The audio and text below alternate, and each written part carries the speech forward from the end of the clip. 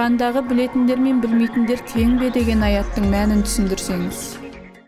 Адам баласы кез келген сұрақта құранның аяттарынан таба алады. Таба алады деген сөз адамға қатысты бүкіл мәселелердің бәрі құранда жазылған деген мағынада емес.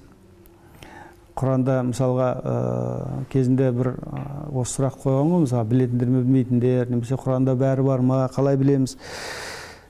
Құранда бәрі бар деп жауап береміз ол мына тұрғыдан бағана сіздің тура мағынасы ауыспалы мағына деген бәрі осы аятпен келіп шығып жатыр шынында да мысалға бір килограмм ұннан қанша табаннан шығады деген сұрақ бар ма деп сұрақ қояды ғой енді кезінде имамдарға сонда құранда бар оның жауабы деген жауабын сізге бес минуттан кейін айтайын дейді содан құранды қарайды қараса ол жерде кез келген істі оның маманынан сұрау керек деген бағыт бар.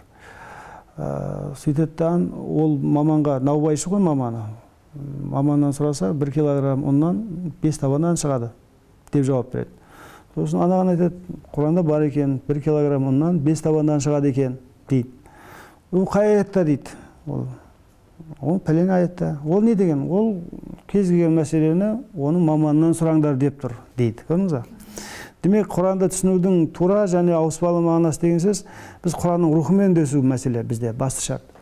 Білгендер мен білмегендер деген сол кездегі аяттың түсу себептерін қарап отыратын болсаңыз ол жерде алланың ақиқаты мәселесі алланы білу марифатуллах деген мәселе осы мәселе қойылып отыр.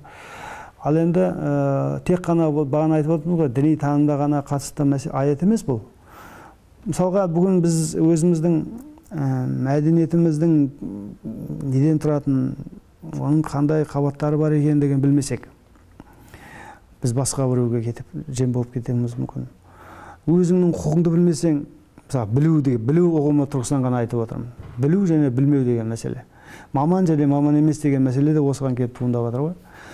Ә, тура сол сияқты бізде дін деген мәселеде барлығын білу мүмкін емес.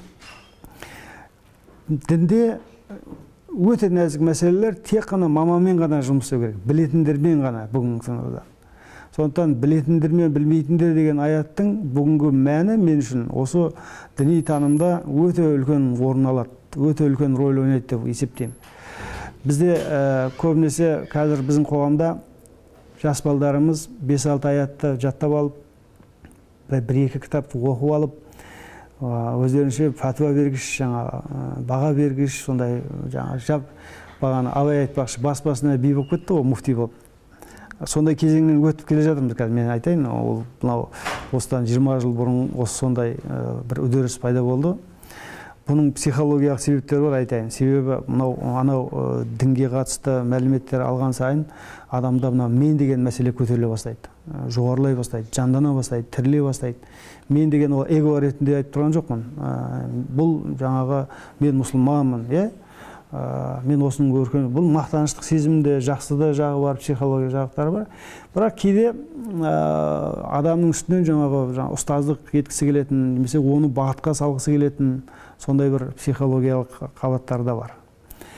Ә, сондықтан білу деген мәселені біз ол пайғамбарымыздың заманынан бүгінге дейінгі мәселедегі тек қана біліммен ғылыммен ғана ұштастыруымыз керек. Біліммен және ғылымменен. Ал діни таным басқа танымдардан бағана айтып жатырмыз басқаша деп жатырмыз. Себебі басқаша болатын себебі ә, кішкентай бір осы астананың өзінде айтайық қырық елу жамағат бар деп айтайық. қырық елу жамағаттың қырық елу ұстазы бар. Әр жамағаттың өзінің орталығында ұстаз бар. Имамдардың мысалға осы осы айтайық мешіттің өзінің имамы бар имамның жамағаты бар. Ол жамағат осы имамның танымы негізінде яғни ұстаздығы негізінде алады қарасаңыз. Осы ұстазға деген оның қатынасы оның психология қабаттарында көрсетеді көрдіңіз ба яғни ол өзінің мынау білу білудің ар жағында жауапкершілік бар иә? Мысалға біздің фараби де бұны қолданған. Ә, білу және ә, жаңа жүзеге асыру мәселесі діни танымдық тұрғыдан бір адам бар дейді біледі. Бірақ ол білгенін жүзеге асырмайды иә? Бір адам бар біледі. Ә, білмейтіндігін де білмейді деген мәселе. Бір адам бар біледі. Бірақ біледі әрі жүзеге асырады. Сонда үш түрлі категория. Рухқа қатысты айтылады сол жерде. Рухтың білуі.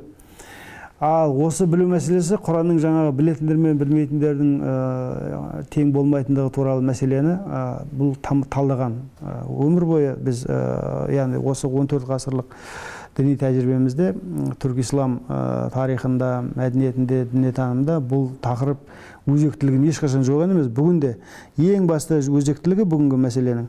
Жастарымыз діни танымда тек қана білетін мамандармен ғана соларға мойынсұнуды соларменен сұрақ жауап ретінде өзінің жаңағы білмейтіндерін білетіндерін қорықпай сұхбат құру керек.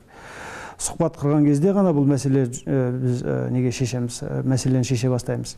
Ал бізде жаңағы сұрақ қоюдан тартыну немесе одан қысылу одан ұялу деген бір мәселелер бар қазір. Олай болмау керек. Ол ол нені туындатады ол белгілі жамағат ішіндегі баланың сол жамағатқа деген жаңағы ә, сатқындық психологиясы немесе соны сақтау мәселелері төңірегінде қалып қойып жатыр қазір. Мен психолог сұрақ өте жақсы қойып отырсыз психологиялық. Мен айтар едім жастарымызға сұрақ қоюдан ұялмау керек. Ә, еркін ойлауға ұмтылу керек. Содан кейін білетін деген мәселе бұл тек мамандармен ғана иә? Мысалға ә, солармен ғана ә, байланысты орнатуды сіз егер жолға қоятын болсаңыз иншалла бұл мәселеден шығуға болады. Адам мен кіммін иә? Не істеуім керек қалай білуім керек не үшін білуім керек деген сұрақтар баяғы шәкәрім бес анықта бес анығы деген мәселелер. Әрдайым ұрпақтар арасындағы үздіксіз жаңа қойылатын сұрақтар бұлар шындығында сондықтан білу және білмеу мәселесі не үшін білмей қалу мәселесі тек қана адам өзіне байланысты. Мен айтар едім бүгін исламның өзі дін ретінде бүкіл адамзатқа бір ақ мәселе алып келді. Әйтпесе исламдағы анау ғибадатың зекетің құлшылықтарың намазың парызың қажылығың бүкіл діндерде бар бұл құбылыс ретінде форма ретінде. Исламның алып келген ар мәселесі исламның әкелгені рухани еркіндік мәселесі. Арлы болу рухани еркіндік еркіндік еркіндікте бүге балдарды жастарды ұрпақты тәрбиелеу бұл исламның дін ретінде де негізгі мақсаты. И біздің қоғамда негізгі мақсаты осы. Сондықтан мен айтар едім білгендер мен білмегендер әрдайым құран оны ажыратады. Сондықтан мына улул әмір немесе жаңағы біздегі варисатуллах деп жатады мысалға әл уляма уламалар алланы немесе алла мен әлем қатынасындағы ең мәселе ғұламаларменен ғалымдарменен үндесу мәселесі. Оны бір жауапкершілік немесе дәстүрге оны психологияға айналдыру керек.